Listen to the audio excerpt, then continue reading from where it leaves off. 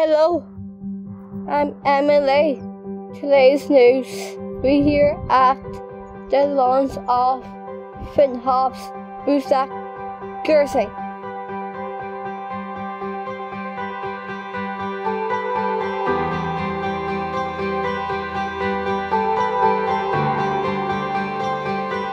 Inside it has no AR taking pictures of uh, New Jersey